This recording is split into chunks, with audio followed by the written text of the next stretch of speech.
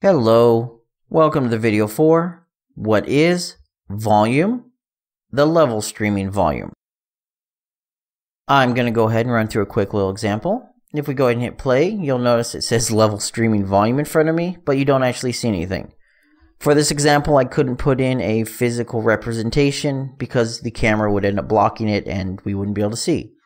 Now if I go forward to my volume, you're going to notice I have some things pop up in front of me, a little platform and a sphere. If I was to go backwards, you'll notice it disappears.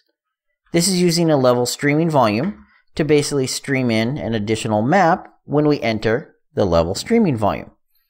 Now there is an additional video that covers level streaming in detail. It has some examples as well as the different ways of doing level streaming. But we're just going to simply cover the level streaming volume itself here in short detail. Now, the level streaming volume itself basically only has a few parameters. Now, as it is a brush, you can go ahead and change it to be other brushes, uh, brush sizes. You have brush sizes and shapes. You can change the size. You can also change the shape, cylinders, curved stairs, boxes, things like that. For the most part, it's going to be a box because you're going to want it to encompass where the player's at in order to see the level streaming. Now, there is one caveat here the camera, which is your visibility, is what determines if the level streaming volume is going to work or not. If you'll notice by default, my player starts off here, and I actually have the level streaming volume encompassing a pretty good chunk of this area. But you'll notice when I hit play, even though my player is in the volume right now, it's not working. Only when my camera, which is on a spring arm behind me, enters the volume, like this, is when you're actually going to be able to have the level streaming volume work. So that is one thing to keep in mind if you're having issues with the level streaming volume and you're using a third person camera. It's not really much of an issue if you're using the first person because the camera is on the player itself. In terms of options, down here you have your level streaming volume options. If you are using level streaming, you're going to have different maps inside of your persistent level. Down here under streaming levels, these are the levels that are loaded when we are inside of our streaming volume. Those are accessed by using your summon level details in your levels panel. And this is where you can add additional levels to stream. I'm not going to go into this very detailed because there are other videos covering this that I have done.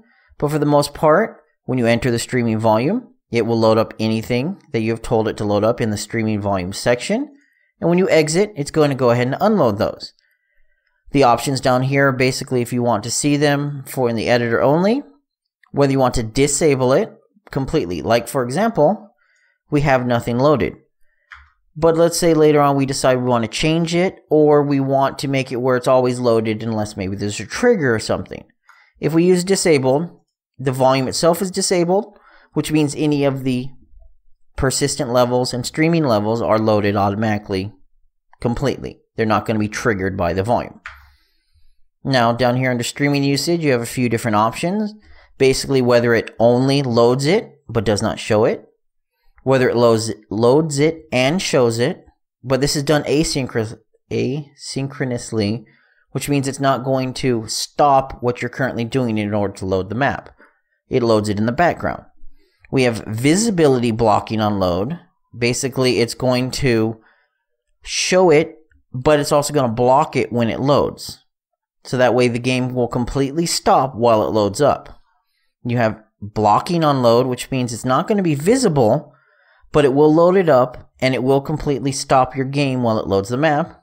And then you have loading, but not visible. Basically, this is going to load it up and not make it visible.